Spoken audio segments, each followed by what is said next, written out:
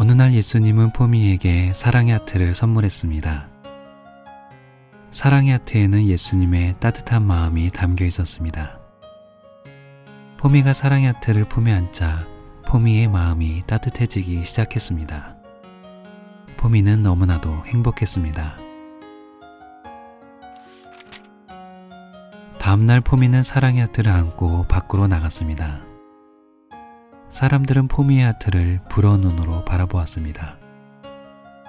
포미는 사람들에게 하트를 나눠주면 행복이 줄어들 것 같아 하트를 나눠주지 않고 집으로 돌아왔습니다.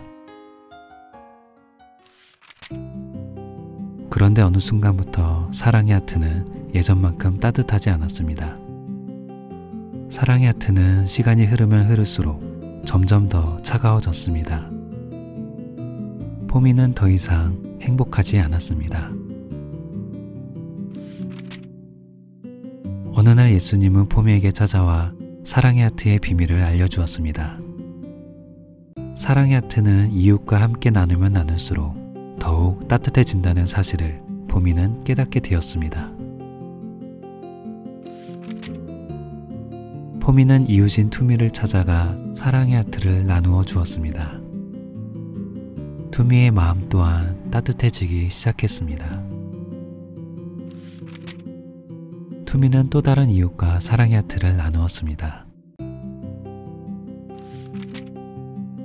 온 마을에 사랑의 하트가 퍼지면 퍼질수록 포미의 하트는 더욱 따뜻해졌습니다. 포미는 이전보다 더욱 행복했습니다.